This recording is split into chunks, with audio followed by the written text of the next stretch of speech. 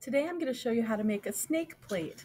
To start out with, we're going to take a paper plate and we're going to turn it upside down and flatten it. This just makes it easier to color on. It doesn't have to be perfectly flat, just a little bit flatter than it was. Next, we're going to take a crayon and draw a spiral. When you start the spiral, that's going to be the tail of the snake. So you want to start it on the edge like that.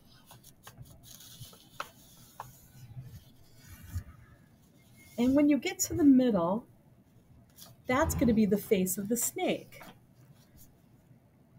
So this would be a good place to put the eye. Um, just remember that this is part of the snake. Some people think the snake ends here, but this is all part of it too. So next we want to make a pattern for our snake. And so uh, I see a lot of pictures of snakes that have uh, triangles, diamonds, that kind of thing on the back. So I'm going to go like this. I'm going to do a zigzag line so that mine has triangles.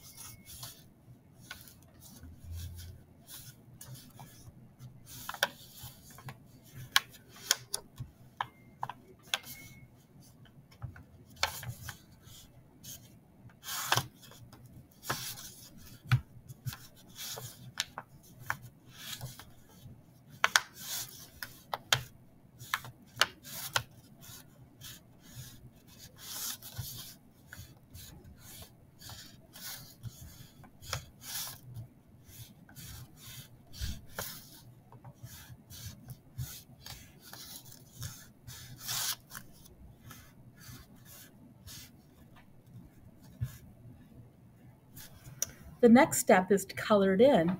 Since I've made these different partitions, shapes within the snake, I want to color those separately. Instead of taking the crayon and just coloring over the top of them, I want to make sure that I color each one individually.